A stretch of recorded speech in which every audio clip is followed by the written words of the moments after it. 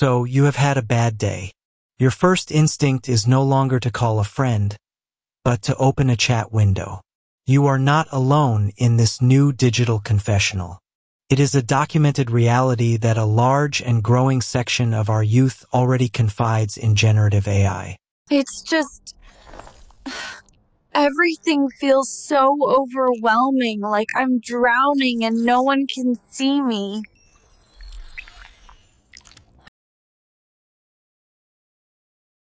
They ask for advice, they seek solace, and they find something that, on the surface, feels remarkably like understanding.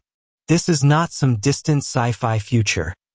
It is the quiet, ongoing beta test for what comes next. But what happens when that disembodied chatbot gets a body? What happens when it can look you in the eye, nod with calculated empathy, and offer a perfectly manufactured hand of comfort?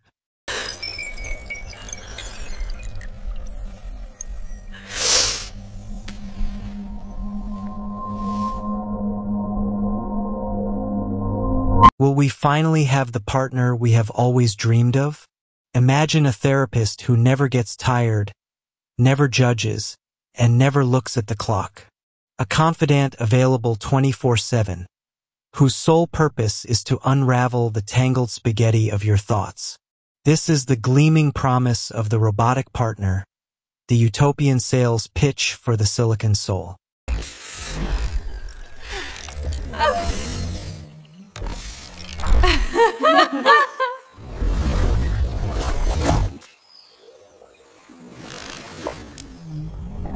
Powered by what futurists ominously call superintelligence, this entity would be, by definition, smarter and more logically sound than any human. It could listen to your circular arguments and your irrational fears, identifying your cognitive distortions with chilling algorithmic precision. Think of it as cognitive behavioral therapy delivered with the flawless logic of a machine. You appear to be catastrophizing again. It might say, its voice modulated to the exact frequency of calm. The foundational technology for this is already well underway, and it is called affective computing. This is the meticulous science of teaching machines to recognize, interpret, and, crucially, simulate human emotions.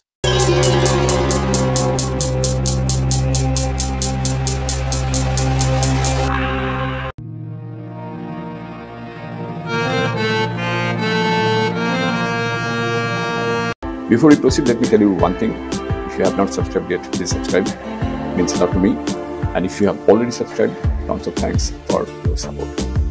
It is an engine that feeds on your tone of voice, your choice of words, the pauses between your sentences, and even the micro-expressions you are not aware you are making. Now, combine this emotional surveillance with the reasoning power of a large language model trained on the entirety of human literature, psychology, and philosophy. You get a potent, almost magical cocktail. A machine that not only understands what you say, but intuits how you feel when you say it. Look at its tiny fins.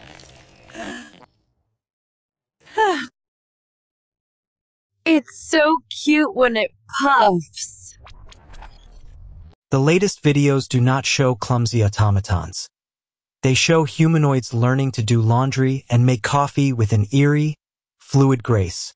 If they can master the delicate art of folding a t-shirt, could they not also master the delicate art of listening? And yet, a persistent, nagging question whispers from the back of the room. Oh, you always know just what to add. it's our secret ingredient teamwork. when you pour your heart out to this perfect, patient machine, where do all those words, all those secrets actually go? Every vulnerability, every private shame, every whispered fear is meticulously converted into a data point. This data, as we are constantly reminded, is the most valuable resource of the 21st century, and you are the endlessly deep well. It is used to train the next, more advanced model, making it an even better listener, an even more convincing friend. But who owns this intimate diary of your soul? The corporation that built the robot, of course. What happens when that database is breached by bad actors, sold to the highest bidder, or simply subpoenaed in a legal dispute? Suddenly, your most private thoughts are a commodity, an asset to be traded in a marketplace you cannot even see. That is the biggest worry uh, because your data, in that case, in that scenario, can be breached. Uh, however, when you meet some human therapist, it usually doesn't happen. Okay, hopefully it doesn't happen.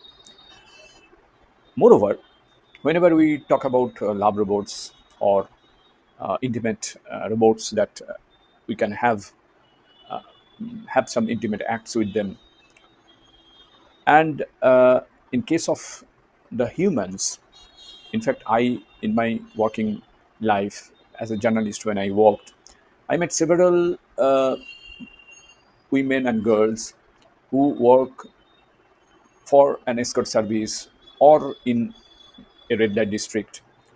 And they felt that when I took their interview, when they were interviewed, they told me that uh, in most cases, customers or the people who come to them usually ask for kind of therapy, not uh, what we usually think of. That means that means that whenever we uh, try to judge these women, judge these girls from a perspective of our typical middle class mentality, we usually think that they are providing some intimate services but actually they don't. Actually they don't.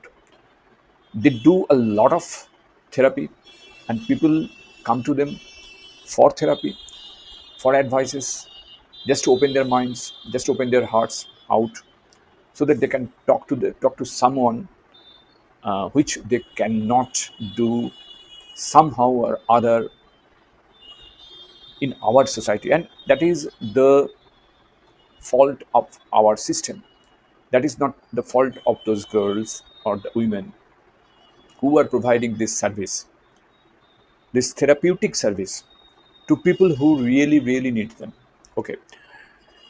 And in future if humanoid robots or robot partners or love robots come to fill uh, this gap or come to just uh, happen to uh, be in their place maybe with 100 and 1000 minds in one place they could tackle these their problems in a better way.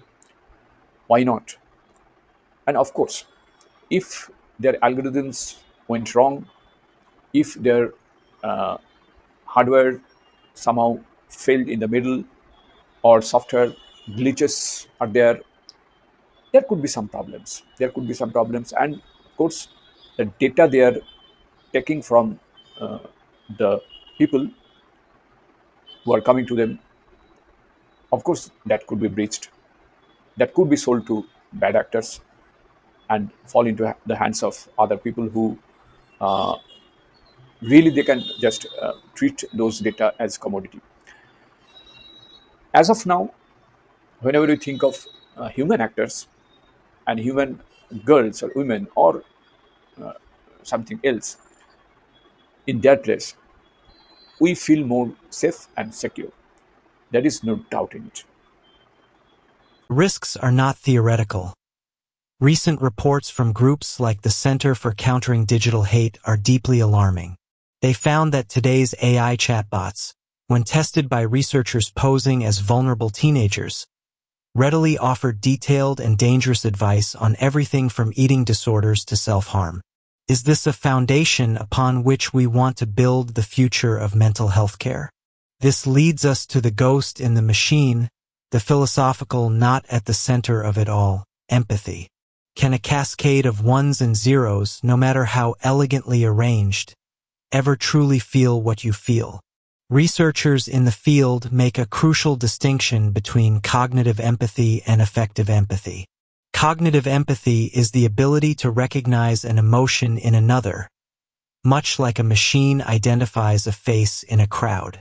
Affective empathy, however, is the ability to share that emotion, to feel the weight of it in your own chest. AI is becoming a grandmaster at the first kind. It can learn the statistical patterns of sadness from a billion blog posts and poems. But it can never, by its very nature, experience the second. Its empathy is a performance, a flawless imitation stitched together from our own outpourings. It has never known loss, or unrequited love, or the quiet, existential dread of a Sunday evening. The comforting words it offers are computationally cheap and emotionally cost-free. They do not require the genuine emotional expenditure that makes human empathy so profoundly valuable and real. So, are we truly building a therapist, or are we just engineering the world's most sophisticated mirror? Is it a mirror that reflects back a perfectly sympathetic version of ourselves, validating every feeling, soothing every fear, and challenging nothing? Is that genuine healing? Or is it the most elegant and dangerous form of self-deception ever invented? The line between a helpful tool and an all-consuming companion is blurring faster than our societal wisdom can draw it. These robotic partners are coming, not as a matter of if, but as a matter of when and how soon. They will offer a tantalizing solution to the modern epidemic of loneliness. A solution that is convenient, affordable, and infinitely scalable. They will promise to rectify our flawed, emotional human thoughts with the clean, cool power of logic. But what is the ultimate price for this perfect, tireless companionship? Is it our privacy? Is it our resilience? Is it our very understanding of what it means to form a genuine human connection? When a robot with a kind face and a patient, synthesized voice asks you to open up, what will you tell it? And more importantly, what will it do with everything that it learns? The conversation has already begun, whether we are ready for it or not. So that is it. Thank you for joining us on this journey. Let's continue this conversation in the comments below. If you like the video, please hit the bell icon to get notified and don't forget to like with your friends, share and subscribe for more insights. If you have already subscribed, tons of thanks for your support. It means a lot to me. And please consider signing up for membership zone to support Wooden Slate so that we can make it better and better. See you in the next video. Till then, goodbye. Take care and stay safe.